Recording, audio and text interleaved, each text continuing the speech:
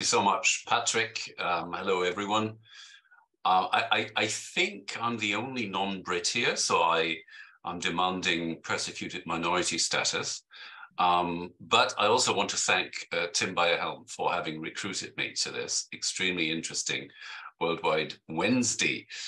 So, um, indeed, I will take um, I will I will try to answer the same question as George and and and and, and Jeremy, but uh, I will use my own take on it.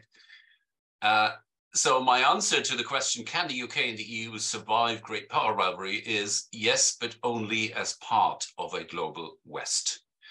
And I believe so for five reasons.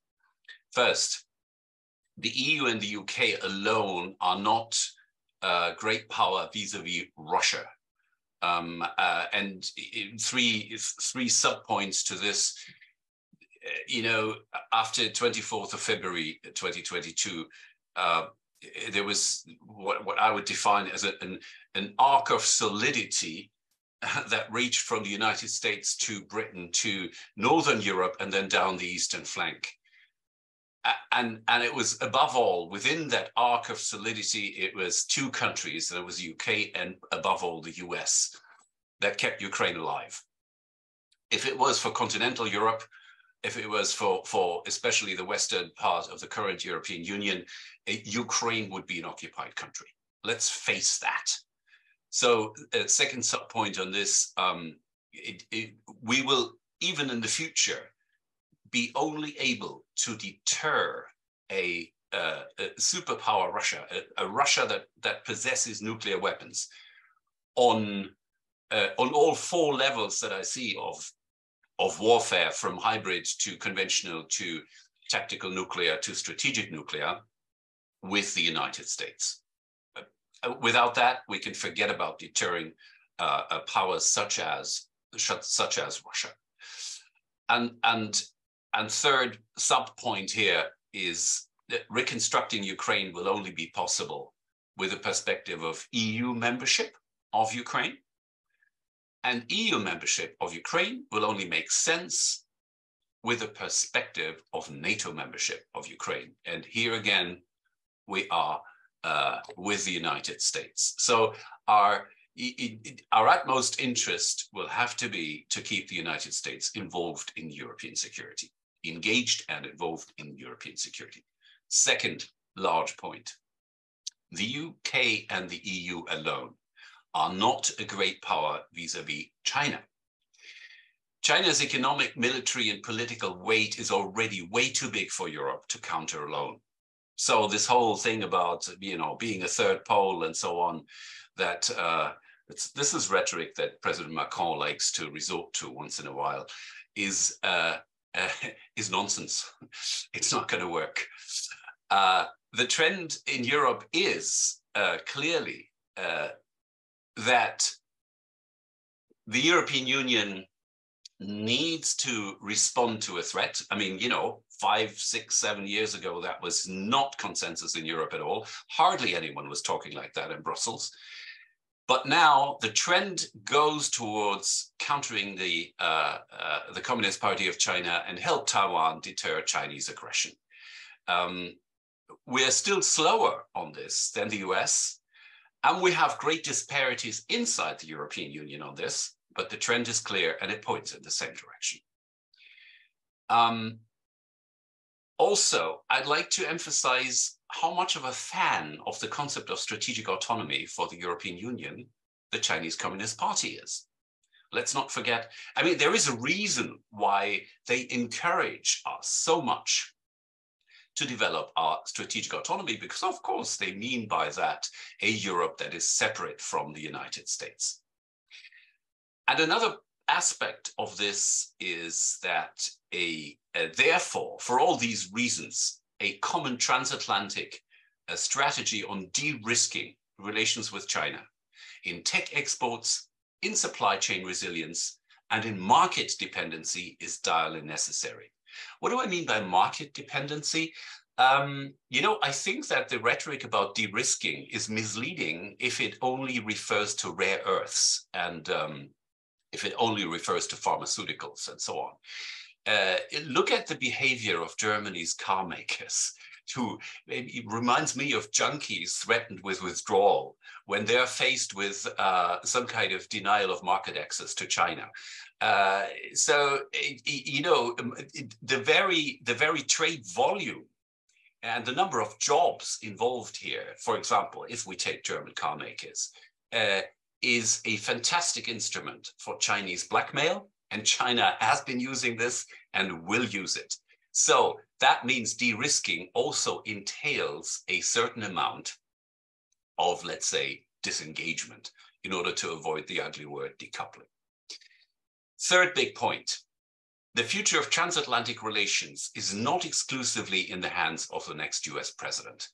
Uh, so much for the 2024 problem. I think that we Europeans play an important role, even if there, there is a Trump or Trumpist administration. Um, according to all I know and hear from Washington, the majority of the Republican Party in Congress and outside does not want to ditch Ukraine withdraw from Europe and entirely pivot to China or to go into some kind of splendid isolation. But they just expect more from Europeans in terms of defense spending and willingness to share the cost of securing democracy.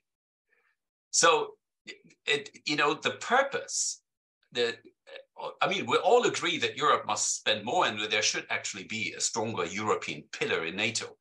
But the goal of this is not to replace the United States, it is to keep them involved in European security. And the same principle applies to Europe's China policy. To become a third pole or sitting on the fence between the US and China and their rivalry is toxic for transatlantic relations. That kind of talk is toxic. To define Europe and East Asia as interconnected vessels is the way forward. You know, it's fantastic how the Taiwanese have got it. The Japanese have got it. Um, they completely understand that the war in Ukraine it is directly uh, connected to a possible future conflict, a possible future Chinese aggression against Taiwan, or other expansionist measures in East Asia, in the Indo-Pacific.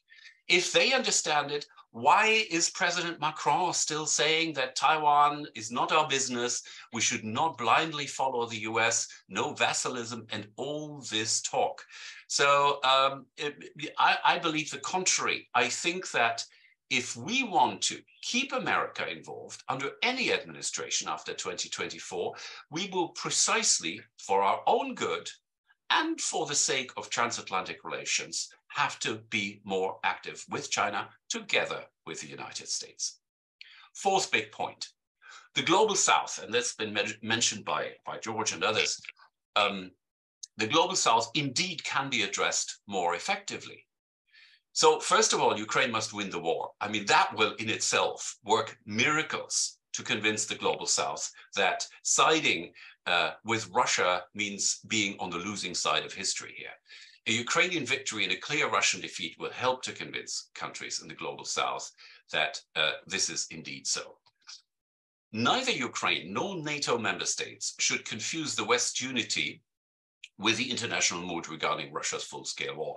I mean, that's a bit of a no-brainer in the meantime. When I wrote this in an article three months ago, it was a bit newer than, than it is now. So we should clearly own up to past mistakes while insisting on the uniquely criminal and dangerous character of Russia's war. I mean, Iraq 2003 was a huge mistake, but it's in no mean, by no means comparable. So respectful communication must go hand in hand with concrete efforts to address the material issues and the dependencies in the global south. You know, uh, and this ranges from weapon systems to, uh, to grain, to technology, uh, to finance. Uh, and finally, I think it is important to say that Ukraine and Central European states have special credibility in this effort to address the global south. Ukraine is doing a fantastic job these days in talking to African countries, talking to Latin American countries. It's not working yet, but I think there are there, there should be ways to to to address these issues. And as I said, Central Europe, which has never had colonies really, uh, and Ukraine are the right partners here. Uh, last last point, I do think that democracy versus autocracy works as a concept, but it only works in concentric circles. In other words, at a time when autocracies openly cooperate with each other, stabilize one another, and jointly undermine democracies, it is nonsense to reject the democracy versus autocracy concept altogether. But indeed, the world cannot be divided into black and white. We need to cooperate with some autocracies. Some non-Western democracies are not necessarily our friends, and the West has its own black sheep, such as Poland and Hungary. So the best way to cope with this is to think in concentric circles with in the middle the Euro-Atlantic space, around that like-minded democracies around the world. And yes, indeed, non-revisionist autocracies will have to be our partners against the powers that want to revise the global system. So taking into account these five points, I think Europe has the best chances in the world to survive as part of a democratic global West. Thank you.